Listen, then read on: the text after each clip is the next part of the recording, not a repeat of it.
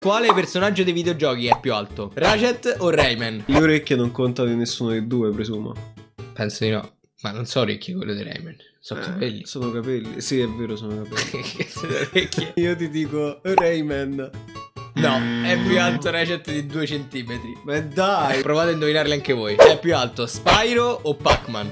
Forse Pac-Man ti dirò perché era grosso.